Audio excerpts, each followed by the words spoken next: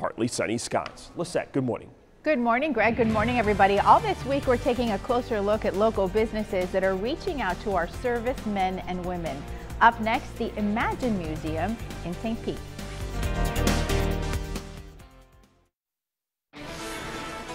Welcome back. Good morning, everybody. We continue our salute to veterans this week with a spotlight on local programs honoring their sacrifice. We turn our attention to the Imagine Museum in St. Pete. Thanks to a community grant from Duke Energy, the museum, famous for its collections of glass art, is launching a pilot program about veterans. The Oral Histories Project is being built around the lives of five military veterans.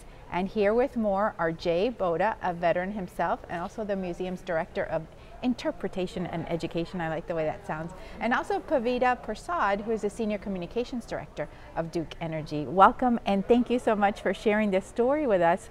First of all, Jay, thank you for your service to our country. Tell welcome. us about this project.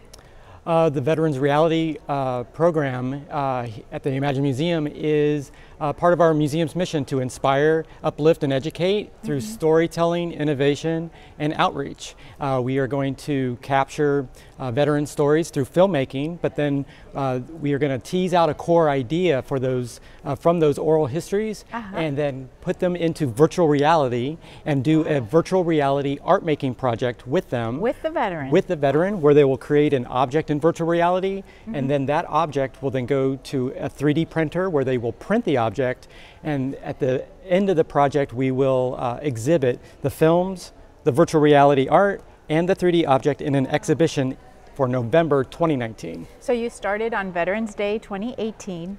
You've selected all five veterans that you're going to be working with? We have, yes. Okay, and so we have to wait a year, but mm -hmm. so you're making magic right now. Uh, we are working with the veterans. Uh, we're going to work with uh, an art educator so that uh, we can uh, create, uh, they, this is a new technology that not everybody's uh, familiar with. Yeah. So uh, we have to get the films, uh, we have to film their histories, tease out that idea, and then teach them the process of creating art in virtual reality. Pavita, when you hear the description, uh, you know, it must be very exciting for Duke Energy to be a part of that. It Thank you. Yes, no, absolutely, absolutely. Anytime we can support veterans, uh, we try to, and it's actually a perfect uh, fit for our Victories for Veterans program, which is a unique partnership that Duke Energy has with uh, the Tampa Bay Rays.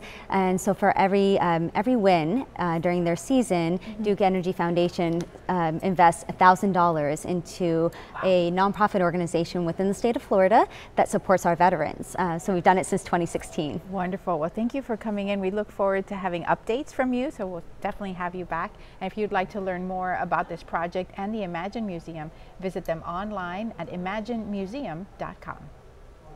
Closed captioning is brought to you by Lakeland Toyota. Save more on I